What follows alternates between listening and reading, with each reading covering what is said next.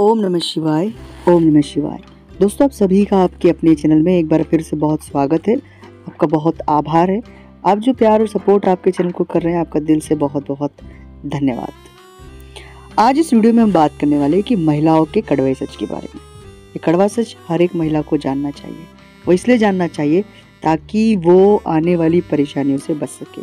ताकि वो अपने जीवन में कई सारी ऐसी परेशानियाँ जिन परेशानियों के पीछे इन वजहों का बहुत बड़ा कारण है, उन्हें समझ सकते हैं।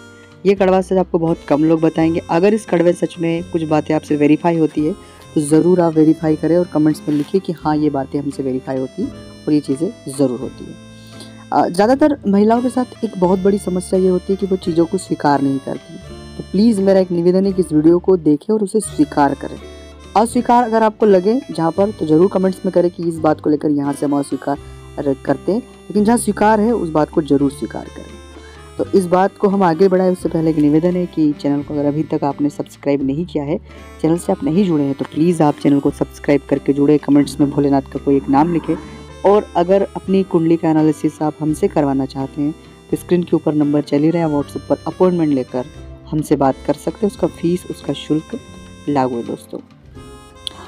अब आते हैं मुद्दे को। सबसे पहला कड़वा सच कि जब भी कभी जिस भी व्यक्ति की आपने मदद की है, जिस भी व्यक्ति के साथ अच्छा किया है, जिस भी व्यक्ति के लिए आपने सभी चीज़ें समर्पित की है, उन लोगों ने आपके साथ छल, कपट और धोखा दिया है। ये अक्सर आपके साथ रिपीट हो रहा है। मैं हमेशा ये बात आपको कहता भी हूँ कि बहुत जल्द किसी पर यकीन कर लेना बहुत ज़्यादा डरावनी बात है। अगर ये बात आपसे मिलती है तो ज़रूर कमेंट्स में बताएगा कि हाँ ऐसा हमारे साथ बार बार होता है। दूसरा, ममत्व जो होता है ना, वो माँ के पास होता है। माँ सिर्फ़ महिला हो सकती है। तो महिलाओं के पास ममत्व है तो वो किसी भी भावनात्मक वे में आकर भावनात्मक बहकावे में आकर हमेशा किसी को धन की मदद कर देंगे, सच जाने बिना किसी की भी मदद कर देंगे। और परेशानी यहीं से शुरू होती है। इसलिए आप सच जाने। और तीसरी बात, कोई भी व्यक्ति आपको झूठे या गुमराह करने वाले जितने सारे सपने दिखा रहा है, वो झूठे तो वास्तविकता में भी रहना अनिवार्य है।